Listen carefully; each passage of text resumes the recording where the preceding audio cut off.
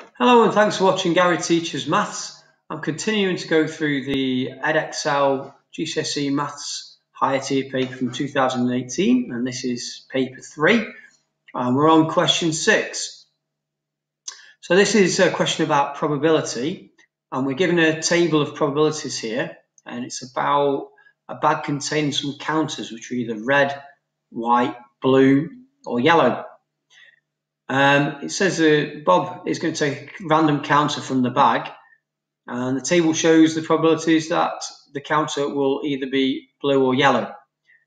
Um, so we're told that there's 18 blue counters in the bag, and the probability that Bob takes um, that the counter Bob takes will be red is twice the probability that the counter will be white. So we've got to work out the number of red uh, counters in the bag. So first of all, it's necessary to complete this table.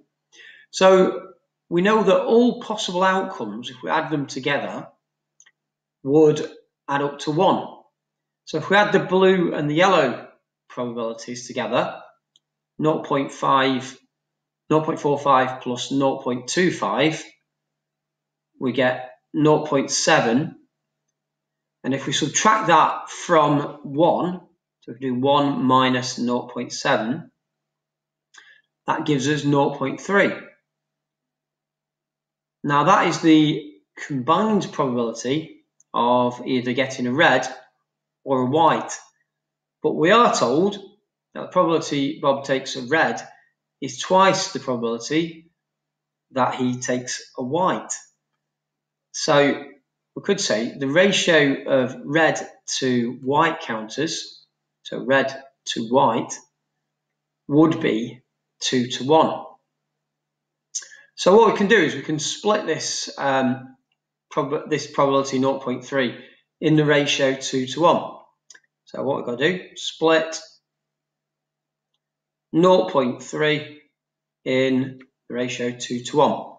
So what we do, we add them two together, 2 plus 1 together, 2 plus 1, will give us 3. And we know then, therefore, that 3 parts is equal to 0.3. So one part we can get by dividing both sides by 3, and that will give us 0.1. Because we know that red is um, the one that's rep represented by the 2, then two parts, which is the probability of getting red, is equal to 2 times 0.1, which is 0.2. So we can put that in our table. And we can also put in the probability of getting a white, and that's going to be 0.1. So this hasn't um, given us the probability, the number of red counters, it's just given us the probability of getting a red counter. So we know the probability of getting a red counter is 0.2. Okay, now we are told we can we can now get these into the form of numbers. We're told that there's 18 blue counters in the bag, and we know that the probability of getting a blue is equal to 0.5, 0.45 from the table. But we also know that that is equal to the number of blue counters, so number of blues, divided by the total number of counters.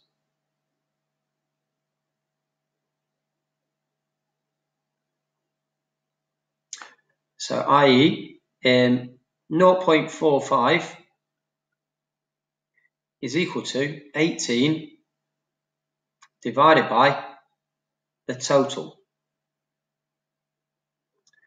Okay, so if we rearrange that, um, we can say, okay, let's multiply both sides by the total there. We'll get 0.45 times by I'm going to call it T for the total equals 18 and it will follow from that that if we divide now both sides by 0.45, that the total is equal to 18 over 0.45.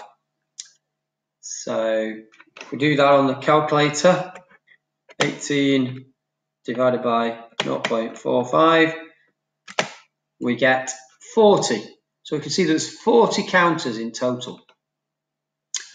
Now, we're asked to find the number of red counters, and we know the probability of getting a red is 0.2, which means 0.2 of the total, it will give us the number of red counters.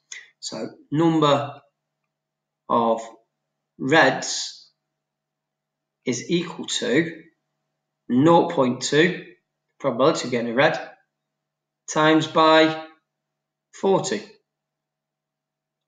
which is actually 8. So that's part A completed. Um, for part B, we're in a different situation. It says a marble is being taken at random from a box of marbles, and the probability that the marble will be silver is 0.5. So we've got to explain why it must be the case that there's an even number of marbles in the bag. Well, again, using the similar logic to before, we can say, well, the probability of getting a silver is equal to the number of silvers over the total. And since we're told that that's equal to 0.5, so we can say um, the number of silvers over the total is equal to 0.45, 0.5 and if we rearrange that we would get that the silvers is equal to 0.5 times t and if we divide both sides by 0.5, we actually get that T is equal to 2 times the number of silvers.